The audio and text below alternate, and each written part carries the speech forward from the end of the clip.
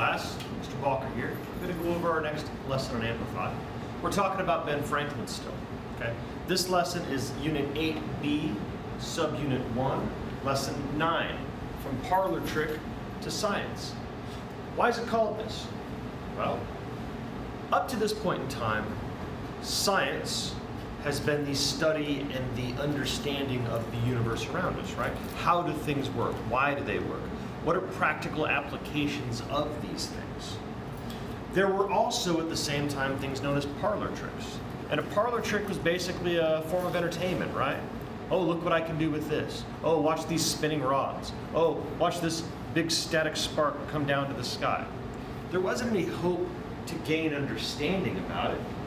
The goal was to make some money and make people smile, laugh, and say, ooh, ah, that was it.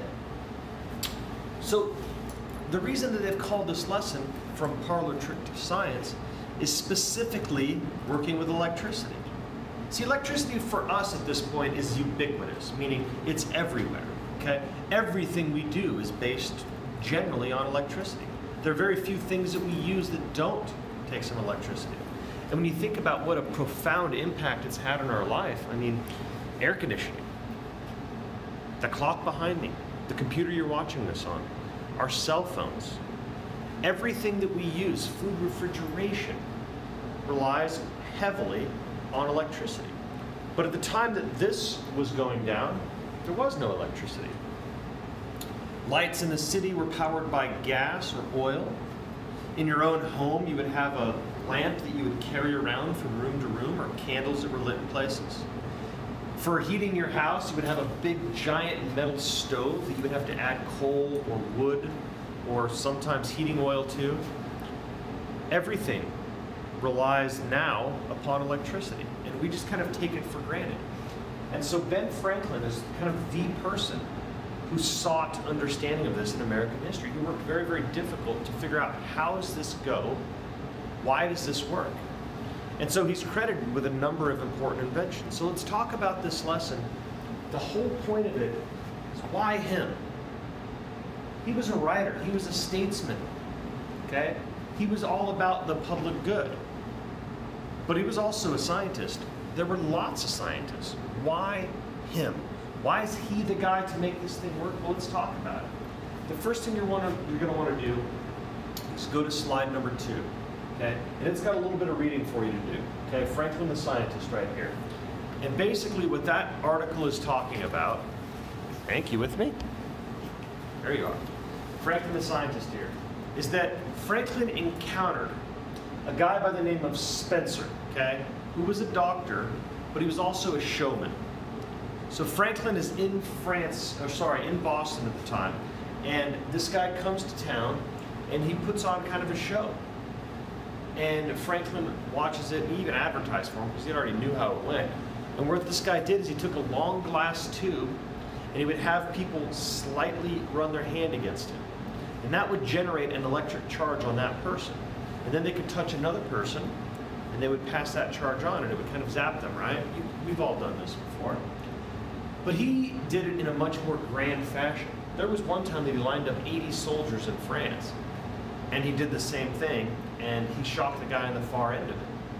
Because the charge will go through person to person to person to person, assuming that nobody's standing with bare feet on the ground, because that's how the, the charge goes back to the ground. So anyway, Ben Franklin knew about this. He knew that the guy did these shows, and he came to Boston and he thought, you know what? I want to learn more about this. And so he started doing these experiments with his club, right, the Junto.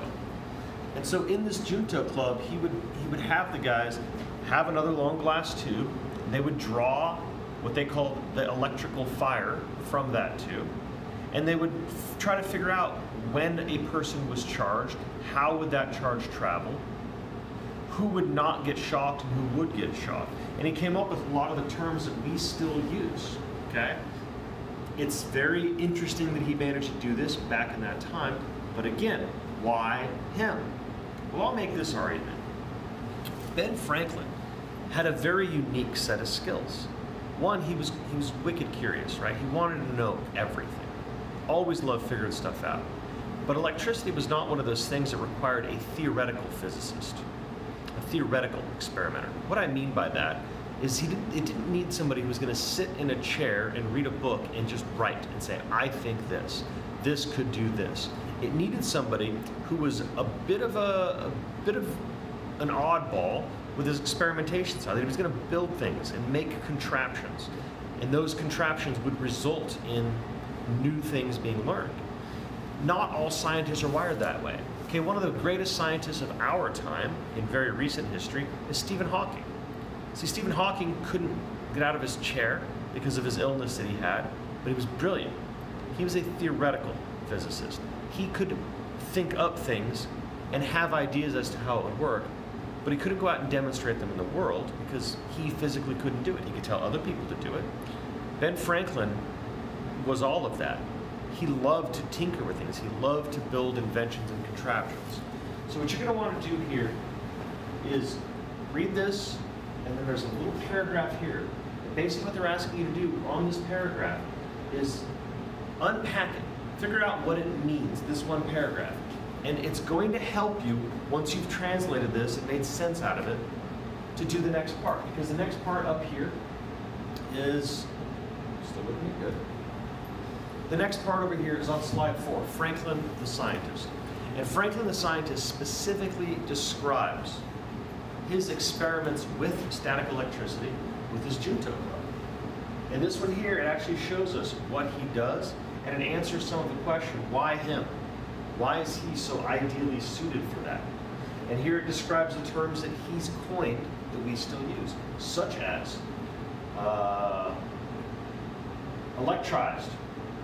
Um, he also says battery, charged, neutral, condensed, conductor. These are all words that he he made the expression up when dealing with electricity. And he figured, well, people come along after me, and they'll rename these things, but here we are, a couple hundred years later, still using those same words. Because again, he was an innovator. He was the first to do a lot of these things. So your assignment on this is, of course, a writing assignment. I would like you to write 120 words on slide five. Slide five asks the question, why was Ben Franklin the ideal person to change the study of electricity from parlor trick to science. That's it. And it shouldn't be very tough, again, especially if you've done the other two exercises, because you're going to understand what qualities he had, his ingenuity, his willingness to experiment. All of those things made him very, very uniquely qualified to do this. So that's it. Thank you guys so much, and I will see you for the next lesson.